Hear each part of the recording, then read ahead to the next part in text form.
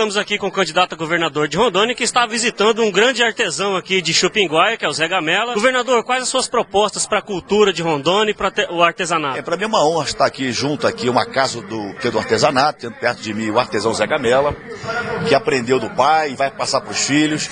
E no Congresso Nacional sou autor de um, de um projeto de lei que transforma a profissão dele em profissão regulamentada. É o único projeto de lei que tramita no Congresso Nacional que transforma o artesão numa profissão. E temos hoje quase 9 milhões de pessoas, igualzinho o Zé Gamela no Brasil, 9 milhões de pessoas que trabalham do artesanato, vivem do artesanato. Hoje o artesanato no Brasil representa 7% do PIB do PIB brasileiro. Isso gera trabalho para 9 milhões, enquanto a indústria automobilística, que emprega 800 mil, gera 7, mil, é, 7% do PIB.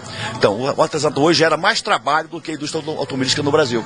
Por isso que o Estado de Rondônia, no governo, temos que estimular muito aí a atividade artesanais. O Rondônia se destaca no cenário nacional com, com bons artesãos tal como estamos vendo aqui nessa casa do artesanato do Zé Gamela. Então, parabéns, Zé Gamela. Vou até levar de brinde uma colher de pau certo? Para que a minha esposa possa fazer um feijão bonito, certo? E honrando aqui. E vou guardar de lembrança.